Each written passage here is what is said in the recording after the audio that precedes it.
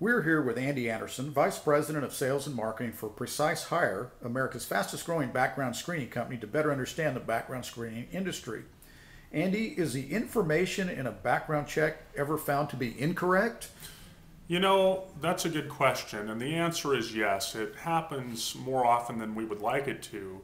The fact is, there's more than 315 million people living in America, and with all of those people combined, there are billions of public records uh, that comprise the information that go into a background check. And so things like identity theft or human data entry error or uh, electronic problems with the transfer of data with databases, any number of different things can cause information to appear incorrect on a background check.